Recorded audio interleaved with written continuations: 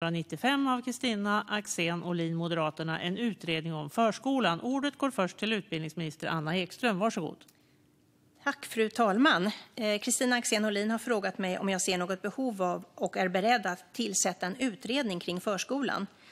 Jag håller med Kristina Axén Olin om att vi har höga ambitioner för vår förskola. Den ska vara rolig, trygg och lärorik för alla barn som deltar. En avgörande faktor för att höja måluppfyllelsen i förskolan är undervisningens kvalitet. Det är förskollärare som ska ansvara för det pedagogiska innehållet i undervisningen för att främja barns utveckling och lärande. Förskollärarna har därmed ett särskilt ansvar för undervisningen. I undervisningen medverkar även andra i arbetslaget, till exempel barnskötare, till att främja barns utveckling och lärande. Det finns dock en stor variation mellan kommuner samt mellan fristående och kommunala förskolor i andelen utbildade förskollärare och barnskötare. Som Kristina Axén Olin nämner finns det dessvärre även förskolor helt utan anställda behöriga förskollärare, trots att skollagen anger att det ska finnas förskollärare i förskolan. Jag tycker att det är bekymmersamt att det saknas tillräckligt med utbildade förskollärare och barnskötare i vissa delar av landet. Regeringen gör stora satsningar för att förbättra kompetensförsörjningen i förskolan. Lärar och förskollärarutbildningarna byggs ut och rekryteringen till utbildningarna måste fortsätta öka och breddas. Vidare kan personer som medverkar i undervisningen i förskolan läsa in en behörighetsgivande förskollärarutbildning inom VAL, vidareutbildning av obehöriga lärare och förskollärare. Regeringen har nyligen genomfört ändringar i det regelverk som styr VAL så att bland annat fler personer får möjlighet att studera till förskollärare. Dessutom arbetar regeringen utifrån januariöverenskommelsen med Centerpartiet och Liberalerna för att inrätta ett nationellt professionsprogram för förskollärare, lärare och rektorer. Med ett sammanhållet system för förskollärares, lärares och rektorers kompetensutveckling kan skolutveckling främjas, professionernas attraktionskraft stärkas och förutsättningar skapas för högre måluppfyllelse. Regeringen satsar också på personalens kompetensutveckling, bland annat genom Läslyftet i förskolan, som nu har ett högre söktryck än det för skolan. Det pekar på att behovet i förskolan inte är mättat och för att möta behovet har 75 miljoner kronor avsatts för Läslyftet för 2020.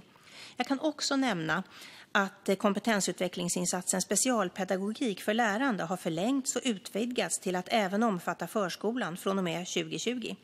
Vidare har det pedagogiska ledarskapet för förskolan stärkts. Från och med den 1 juli 2019 benämns förskolechefer numera rektorer och omfattas av den statliga rektorsutbildningen. Dessutom ges rektorer för förskolor tillgång till samma fortbildningsinsatser som rektorer i skolan. Regeringen ser samtidigt fortsatta behov av att utveckla förskolan. Nyligen tog jag emot betänkandet Förskola för alla barn för bättre språkutveckling i svenska. I uppdraget har det bland annat ingått att föreslå åtgärder för att se till att personalen i förskolan har adekvat kompetens för uppdraget med barnens språkutveckling. Regeringen kommer fortsatt att noga överväga ytterligare insatser som kan behövas för att möta kompetensbehovet i förskolan utifrån de krav som ställs i skolförfattningarna. Tack. Ordet går till interpellanten Kristina Axén Olin, Jag ska Moderaterna. inte säga fru talman, jag ska säga herr talman. Helst. Och tack så mycket för Anna Ekström för svaret. Även denna fråga tycker jag är väldigt viktig och någonting som vi också inte diskuterar allt för ofta. Det är över en halv miljon barn som går till förskolan eller lämnas på förskolan varje dag.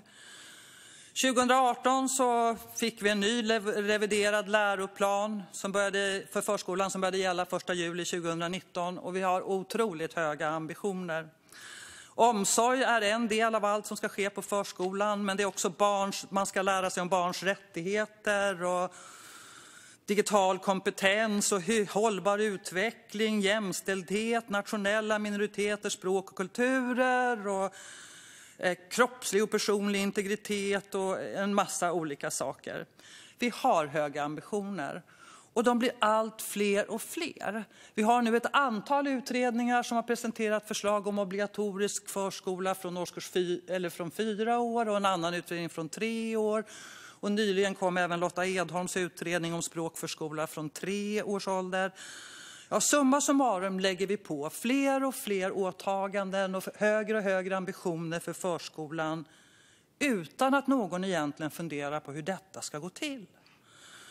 Så min fråga till utbildningsminister Anna Ekström handlade ju egentligen om om huruvida det inte är dags för en ordentlig utredning igen om vår ambition, om alla våra förslag om förskolan, hur ledarskapet ser ut, kompetensbehovet. Ja, helt enkelt en större utredning om förskolan för att vi ska få de här ekvationerna att gå ihop. Och på den frågan svarar inte Anna Ekström. Är man beredd att tillsätta en utredning eller inte? Tack. Tack, utbildningsministern. Tack, herr talman. Eh, jag är ju väldigt förtjust i utredningar och eh, i vanliga fall så brukar jag ju snarare få kritik från Kristina Axén Olin för att det är för mycket utredningar och för lite verkstad, som det brukar sägas. Jag håller ju förstås inte med om det. Eh, på just det här området så tycker jag att det, det man, man, kan fundera kring om det är läge att nu tillsätta en stor eh, utredning för förskolan. Och bakgrunden, eller bottenplattan är ju att jag verkligen gillar utredningar.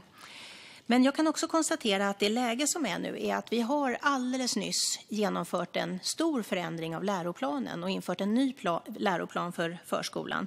Jag håller med Kristina Axén Olin om att den läroplanen är ambitiös.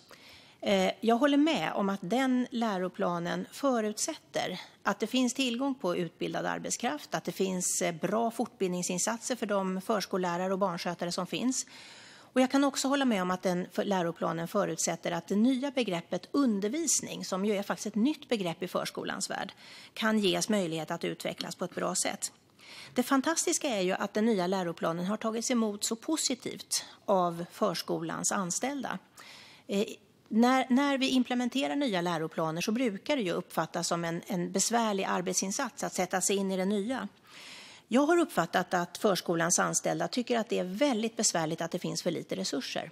Jag har uppfattat att man tycker att det är väldigt besvärligt att man har stora barngrupper och långa timmar. Men jag har inte uppfattat någon kritik mot den nya läroplanen som har kommit, vilket jag tycker talar för att den antagligen har fått ett gott mottagande i förskolan.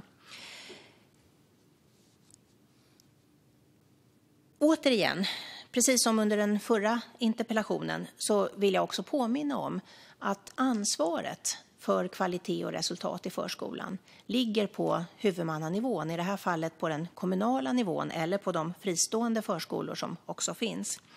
Det här är ett viktigt ansvar och jag är orolig över de signaler som jag får om att man tycker att det, att arbetet, att det är ett, ett ansträngt läge i förskolor, både i, i fristående förskolor och i kommunala förskolor. Jag är också bekymrad när jag ser de vittnesbörd som jag, de vittnesmål som hela tiden kommer om att eh, man tycker att, det blir, att, att eh, läget blir allt tuffare. Eh, men min övertygelse är att det viktigaste vi kan göra då det är att se till att den kommunala ekonomin förmår att bära de utgifter som förskolan med nödvändighet innebär.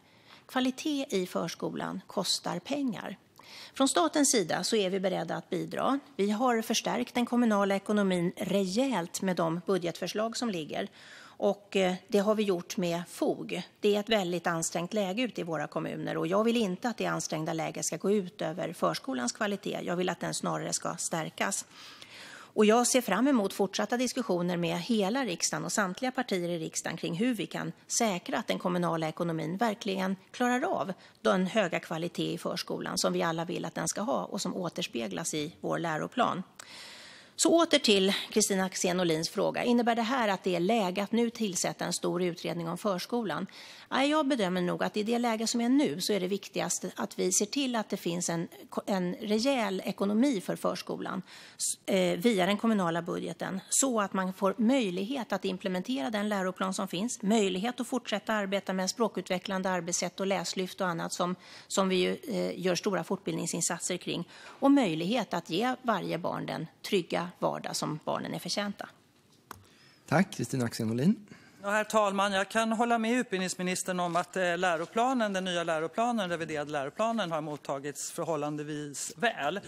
Sen kan jag, apropå vår förra interpellationsdiskussion här alldeles nyss, när vi pratade om ledarskap och rektorer, kan jag ju se att det finns även där en utvecklingspotential för förskolan. Det syns ju inte minst nu i pandemin, och då eh, man nås av hundratals samtal från förskollärare och från lärare och andra som ställer liksom väldigt basala ledningsfrågor. Att det uppenbarligen brister när det gäller ledarskap både i förskolan och skolan.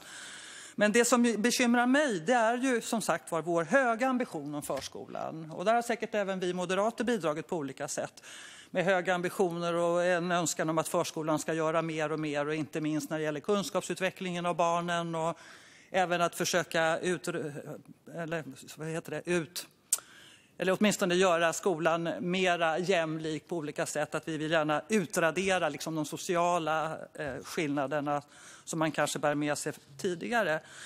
Samtidigt så har vi nu lagt på så otroligt mycket år efter år och utredning efter utredning. Och det rimmar inte riktigt med den situation vi har nu i förskolan. Utan jag menar att vi, samt, att vi någonstans måste börja sätta ner foten och också fundera på vilket är förskolans uppdrag? så att man kan göra det och mäkta med det bra. Och vad behöver man då för kompetens, eller för organisation, eller för stöttning eller ledarskap?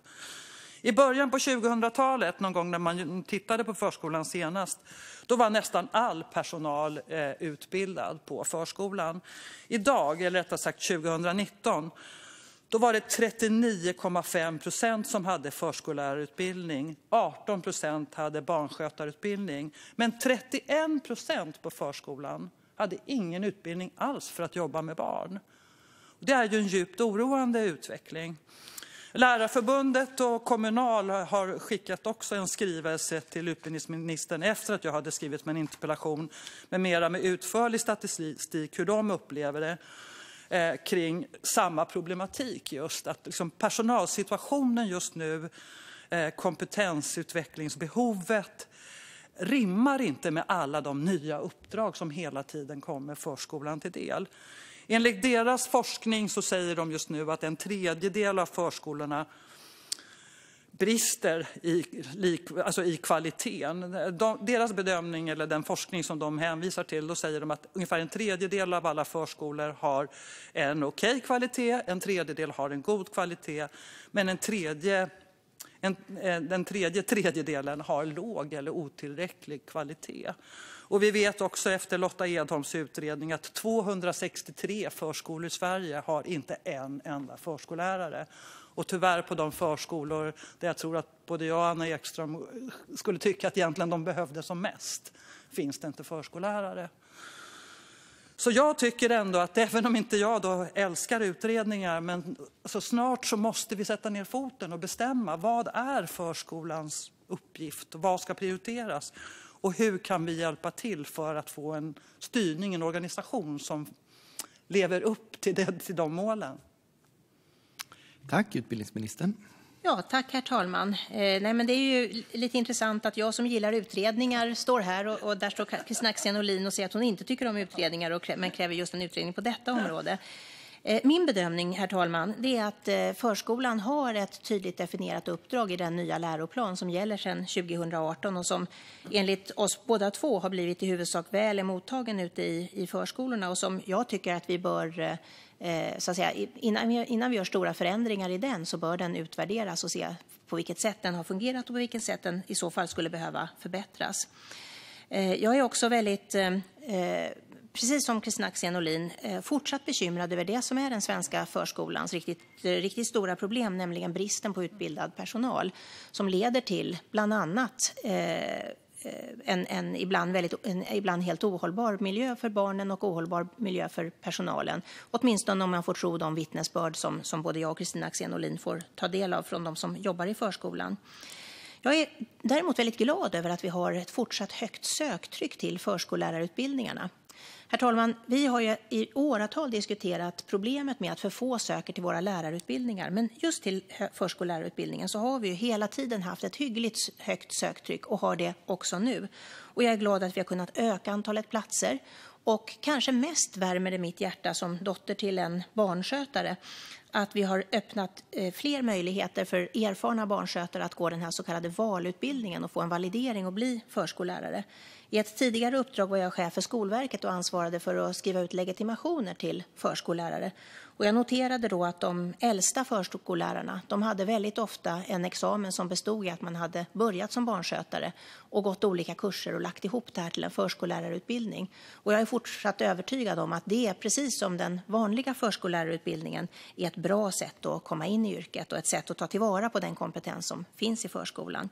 Jag är också väldigt glad över, om jag får lyfta upp en sak i Lotta Edholms utredning, eh, de förslag som hon lämnar angående att stärka barnskötaryrket. Det här är en, en, en, ett yrke som vi har talat alldeles för lite om i förskolan och som har en stor betydelse både för förskolans pedagogiska uppdrag genom, eh, och, och för, för barnens eh, lyckliga barndom. Eh, jag vill, herr talman, också påminna om, om den stora satsningen Läslyftet och de satsningar som görs på ett språkutvecklande arbetssätt. Det är helt nödvändigt i ett läge där eh, vi ser att den utbildade personalen i så liten utsträckning finns i de förskolor där, där det behövs allra mest eh, där de behövs allra bäst och där ett språkutvecklande arbetssätt kan betyda väldigt mycket för många barns förutsättningar att lära sig mycket och klara sig bra i det svenska samhället. Tack, herr talman. Tack. Eh, eh, Kristina Axén Olin, slutanförande. Ja, herr talman och eh, utbildningsminister Anna Ekström. Jag, som sagt jag, jag brukar annars kritisera ministern för att det är alldeles för mycket utredningar och för lite förslag som hamnar för beslut. Men i den här frågan så kanske jag kommer att upprepa då att jag skulle gärna se ändå en utredning.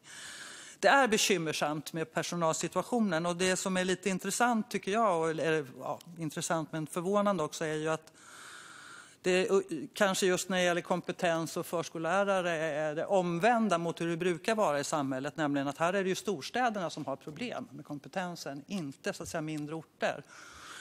Eh, utan det är i storstäderna och framförallt i våra utanförskapsområden som vi då har problem med liksom ingen utbildad personal eller alldeles för få. Det är ju också ett yrke som Lärarförbundet och Kommunal påminner om i den skrivelse som de har lämnat till regeringen som eh, tyvärr då är nummer två när det gäller sjukskrivningar i Sverige. Så det är en väldigt hög sjukfrånvaro som förmodligen också hänger ändå samman med arbetsmiljön på olika sätt och uppdraget.